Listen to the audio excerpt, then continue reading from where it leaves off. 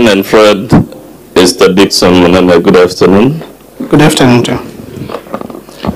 Please confirm to the Senate your professional background. I'm a lawyer by profession and an advocate of the High Court. Practicing with which firm? I stopped practicing when I joined the county government. In which firm were you practicing before you stopped? OMK Advocates. Who was your partner in that law firm? There was Isaac Kazungu. Mhm. There was uh, Dr. Okubasu. That was our colleague who just examined you a while ago, right? Yes, As a learned man, we can take it you're fairly familiar with the laws of Kenya, right? yes. I want us, before we go to those laws, who is the accounting officer in the office of the governor?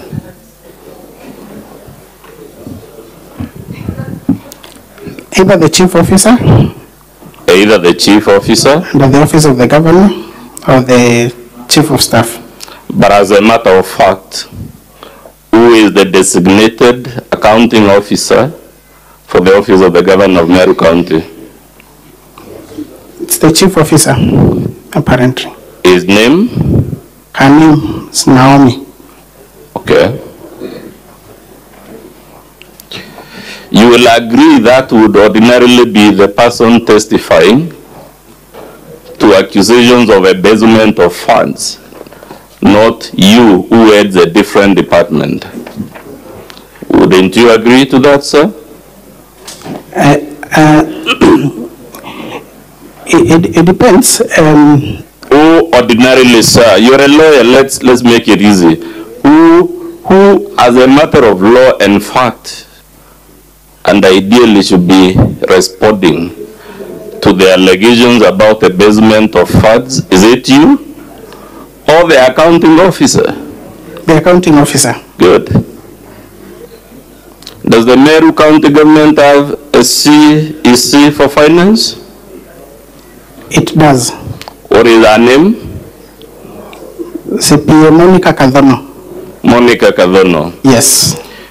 You will agree with me, even if we were to take it, there is no accounting officer, that would be the next person in line that would be better placed to tell the Senate about misappropriation of funds, correct or incorrect? In assumption, yes, correct. I put it to you, sir, that the reason none of these officers has been called as a witness is because they know from their professional background they cannot defend the allegations before the Senate. That is not true. The reason is because many of the allegations that have been made here are on employment, and we could not bring every employee of the county to No, no, answer no. to these We are, we are with the allegation of embezzlement of funds. I put it to you, sir, that the reason the governor has not called either of these two officers to defend the irregularities on these IFMIS is because those officers cannot, as professionals in that line, defend the content of these IFMIS, the irregularities on it. That is not true. That is not true.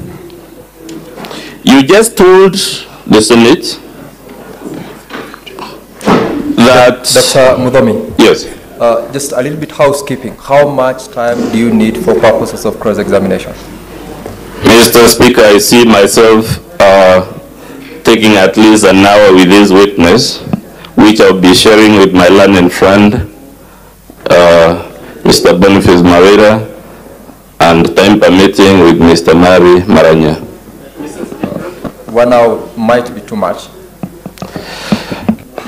It's, my, my, my challenge, Mr. Speaker, is you note of all the affidavits filed by the governor, the bulk of the governor's defense is in this witness's affidavit. He speaks to very many things, the length of his affidavit clearly clearly confirms it. That is the only reason we beseech you to grant us at least an hour. Very well. We, we are going to give you 30 minutes. We take a break for lunch, then you resume and work within that time.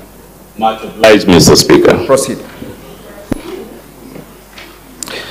Mr. Dixon Monene, it is your testimony before the Senate that the